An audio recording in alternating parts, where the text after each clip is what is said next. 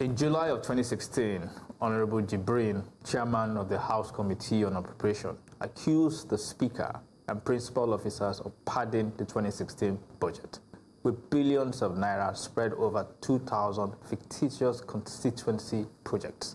The revelation earned him a suspension and caused a national debate. In March this year, Senator Ningi of Bauchi Central alleged in a media interview that the 2024 budget was padded to the tune of 3.7 trillion naira. His claim was corroborated by Senator Agom Jarigbe of Cross River North, who revealed that ranking senators received a sum of 500 million naira each. Like Honorable Jibrin, Senator Ningi's comments also earned him a suspension.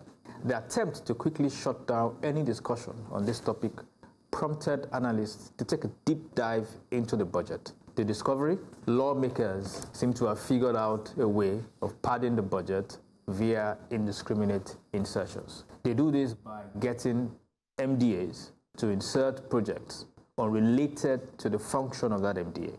According to budget, over 7,400 projects worth 2.2 trillion naira with little to no national significance were successfully added to the 2024 budget.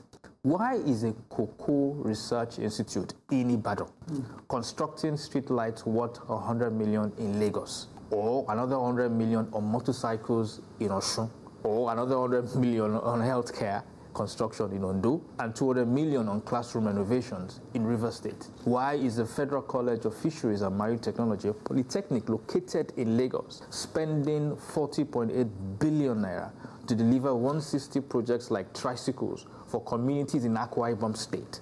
Or another Polytechnic, Federal Cooperative College, Ibadan, spending 47 billion like the construction of streetlights, solar panels, and roads in Poti Ekiti, in Mekogo State, and in Lara, in Ondo State. Why is the Federal Cooperative College in Oji, which sent a proposal of 12 billion, got allocated 103 billion to purchase motorcycles and tricycles for, wait for it, youths in Ogun, Lagos, Oyo, and Osun State.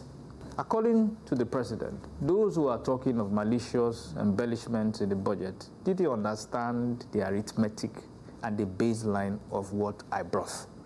With all due respect, Mr. President, this is not about arithmetic or baselines.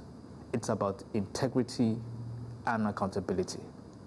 It's time for us to put an end to this practice once and for all.